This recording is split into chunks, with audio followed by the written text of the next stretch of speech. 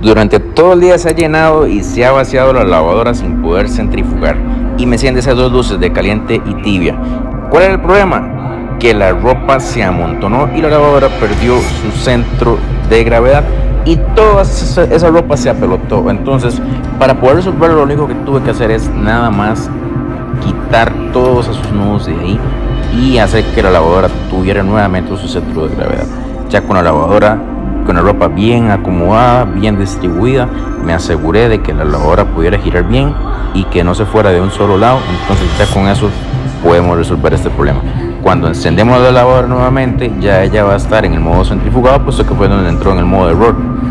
Y nada más sería darle en inicio nuevamente y asegurarnos de que la lavadora empieza a botar agua y a centrifugar correctamente. Si te sirvió el video, no olvides suscribirte, darle like y nos vemos en el próximo video.